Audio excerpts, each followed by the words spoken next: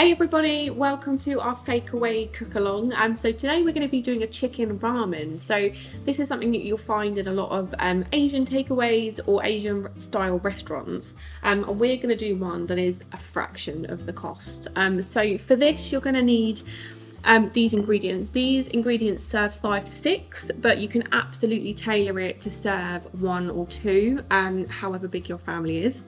So for this, you're going to need 300 grams of bean sprouts, um, 300 grams of noodles. So I've chosen whole wheat noodles just because they're packed with a lot more fibre. I've got 50 grams of spring onion, just roughly chopped, one lime, a little bit of oil. I've got 600 grams of chicken breast, which I've just roughly diced. Um, again, I've got 75 grams of some chili, which I've de-seeded and roughly chopped. Five teaspoons of ginger paste, five garlic cloves, one large um, finely sliced onion, five teaspoons of miso paste, which can normally be found in sort of the oriental section of the supermarket. Um, chicken stock cubes, I've got three of these, some chili flakes and a good pinch of coriander. You will also need about two litres of water as well. You're going to need a non-stick pan for your chicken and you're going to need a saucepan um, for your broth. It's really helpful if you have a food processor or a small blender um, just to make the broth. Um, so let's get going. So first up we need to sear the chicken. Um, so we're just going to coat it into a little bit of oil and some chili flakes um, just to give it a bit of flavour. So you're just going to add a little bit of oil and then some chili flakes. Make sure your pan is quite hot just give it a bit of a mixture. Either use your hands or a spoon, absolutely fine. Make sure that you've got a good coating of chili flakes and oil. And then we're going to just put it in the pan to sear for about five minutes. Making sure it's cooked all the way through. So while your chicken is searing, we can actually get our broth ready. So to do this, it's really useful to have a food processor because we can blitz it all together. So what we need is our miso paste, our chilies, and our garlic. Um, you're also going to need about two litres of water, but just be careful if you do have a food processor, there's normally a liquid limit. So I'm just going to do it gradually. Um, so I'm just going to add in my miso,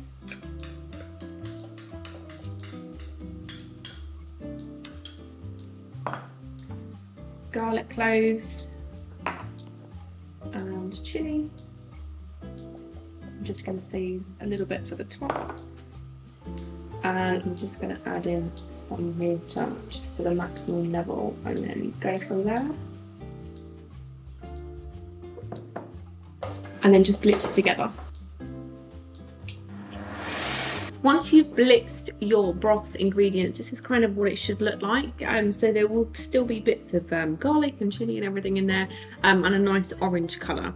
So after we've cooked the chicken, the next step is actually to add our dry ingredients. Now this is a really good dish because we can make these two ahead and do this anytime. So you could make this on a Sunday um, and just cook the dry ingredients, how many portions you need, say on a Monday lunchtime or a Monday evening, and it saves an awful lot of time.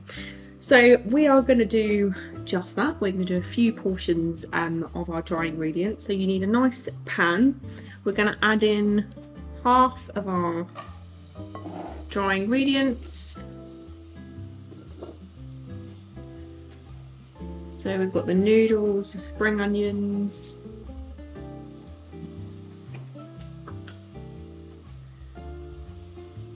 got some finely sliced onion, our ginger, and then our stock, and a little bit of coriander. And then all we do is add in our broth. So I've got half the broth here that you need. Um, so we just pour that in and make sure everything's well covered. You might need to add a little bit of extra water if everything's not covered in your pan, depending on the size of your pan, but that's absolutely fine. And we're just going to give it a bit of a stir.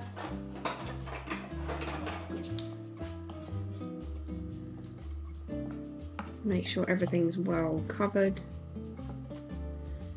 and then you just put that on a medium to high heat with the lid on and cook for about five to eight minutes and then it's ready to dish up. So our broth and our noodles and dry ingredients have had about five to 10 minutes. Um, like I said, you can get the broth ready the night before, the chicken ready the night before, and then literally dinner or lunch will take you five minutes. Um, so it's a really easy dish. So we're gonna serve this up ready to go. Um, so we're just gonna have some of our noodles and our broth